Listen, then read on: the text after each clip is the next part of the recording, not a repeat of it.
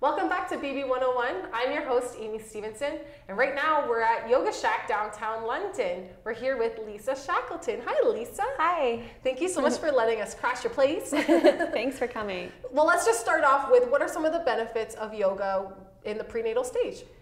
Well, in general, yoga is known for being a stress reliever Right. and actually a great form of cardio and strength building too. Okay. But in prenatal, it's so important because it allows the moms to slow down and connect with their breath. For sure. And that prepares them for labor and really prepares you for after the baby comes, you know, those stressful times, baby's crying and just need to regroup. And so um, the other things we try and prepare a mom for is delivery.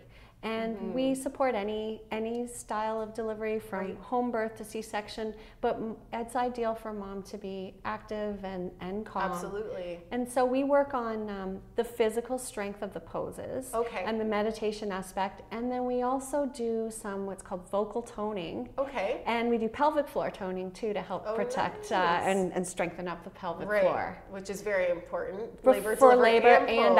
after. Yeah, definitely. That's awesome. So before we start, I think we are going to try out a couple things, but Mm-hmm. are there some things that moms need to know that are dangerous or not to do during pregnancy when doing yoga? Sure. Well, we always ask moms to come with the support of their doctor or midwife. Mm-hmm. Right. And assuming that that's all, uh, everything's a Right. go, then um, there are some things that aren't ideal for expecting moms, like Okay. like deep twists. So you don't want to be doing a big rotation. Okay. You don't want to be doing anything that's going to cut off blood supply to the Mm-hmm. baby. So you know, laying on your back for an extended period of time, and that even goes for sleeping. Right. Because down your down your lower back is what's called the vena cava valve. Okay. And that blood supports the baby. And so Mm-hmm. Right. but the thing is, uh, we never want to have fear. Mm-hmm. You know, your body will will support you. So you would get pins and needles, things like that, before you just shut off the blood supply to your baby. but we don't spend a lot of time on our back or on our belly, of course, in Of course. class. and then there's a few other poses that I always urge moms um, to be careful with, like deep squats. Okay. That's great for active labor, Right. but leading up leading up to pregnancy, you want to keep the baby in there. Keep Right, we don't want to get anything started before Exactly. everybody's ready. Exactly. That's awesome. so when we do you want to get started? Sure, that'd be great.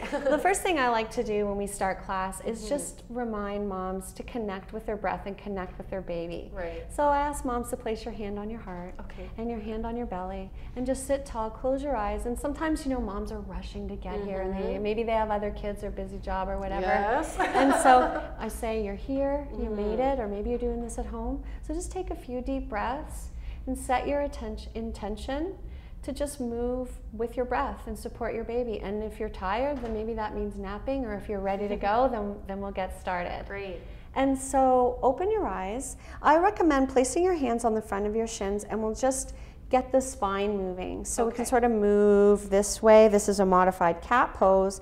And then opening up the chest and looking up. And this is creating a lot of space for your baby. Mhm. If you think about it as the baby grows, there's not much room. So we want No. to open up the core and Nice. the torso and Mhm. create lots of space and That's lots of great. space for you to breathe too. Great. Because you want to breathe, right? Uh, yes, please. exactly. So we want to keep keep everything going. Absolutely. So That's we'll great. Mm-hmm. do that a few times, and that's um, not never rushing. It's not like a Yeah. a cardio type thing. It's just Okay. connecting. I like to, to suggest that an entire inhale to open and an entire exhale. So if you're in a yoga class with a group of people, don't worry about moving beside your neighbor. Just move with your breath. Great. And uh, we're all different, different babies, different bodies. Right. So come on on your onto your hands and knees. Okay, perfect. And I recommend moms to make your hands level because when one hand's in front, it actually creates a twist in your body. and We want to keep everything centered. Okay. Exactly. And this, as your baby grows, this creates a really nice hammock for your baby. Yeah, so there's some hanging here, and that I can, remember that. can feel really nice for your baby too. Yeah. And we can do those same poses again, cat and cow. So inhale to this for for cow pose, Right. or then inhale, look up to the sky for cat. Yeah, so inhale, open, exhale, curl. So we do that a few times. We also want to think about strengthening your mid back because as Mm-hmm. your breasts and your belly grow, it can put a lot of pressure there and tightness. Right. And if you think about, we already drive a lot, type a lot, Yes. things like that. so that can be tight anyway. Right. And then as we work on strengthening that, we'll do some balancing. So think about come to a neutral spine, look a little bit in front of your mat, Mm-hmm. Okay. and then inhale, pick up your right arm and reach it forward. And then, depending on where you are with your balance, you can extend your opposite leg, Boy. keep the toe down, or even extend it off Like the mat. that? So, some moms, if you want to do a modified version, you can put your foot on the floor. That might be a great place to start. And uh, don't judge yourself and know that wobbling is the growing and is the Mm-hmm. Right. developing. So Right. wobbling isn't failing, Right. it's learning. So then That's come great. back and do the other side. So just a breath or two on each side. Inhale to reach. And when to get strong, push this hand into the mat. See how that helps you to Okay. Yeah. stabilize? Oh, Especially the index finger and the thumb. Mm-hmm. And then switch, come back to cat and cow. And I like to do one more because cat and cow, which I think opens up the chest and sort Right. of realigns you. For sure. And then we'll do what's called a modified sun salutation. So you can pick up the right knee and step it in front. Place your hand on the thigh. Now, another thing to think about is I ask moms not to push on their knee joint Right. because when you're pregnant, and maybe we'll get into the pose and then we can talk. Allow Yeah. the hip to sort of open up like that, and then you can walk that front toe a little more and see how that's opening up the left hip. Oh, for sure. And then Oh, square up great. and lift the chest. That feel oh, okay? Oh, yeah. And to great. make that a bit more challenging, you could bring your arms up. Just know that when the arms are over your heart, that's a lot of work for your body, especially with a baby. Right. So you never want to push that. Yeah. But that might be part Oh, of developing cardio strength. Oh, oh yeah. that's great. so then come back with the hand on the thigh and then exhale back to table. And then I would recommend one cat and cow to regroup and then inhale, step forward with the other side. Great. So while you're here, I'll just talk about your knees a little bit. Okay. One thing that's very common is sometimes moms will push on Right. the one leg to sort of get them up. But when you're pregnant, your body is creating a hormone called relaxin, Mm-hmm. and that's what helps your hips and expand for delivery. But it can also loosen your joints. So you don't want to be pushing all your own weight. And so, um, something to think about is how I suggest for moms to get up is to come up with one foot like you Mm-hmm. Yeah. are, have your other foot on the ground, and then place your hand on your thigh, never your knee, Okay. and step the right hand or the right foot, pardon me, Okay. under you. Leave both of them there, and Yeah. then come up with your head last, roll up tall, and take a deep breath when you come on Oh, up. that feels good. Oh, that's great. Awesome.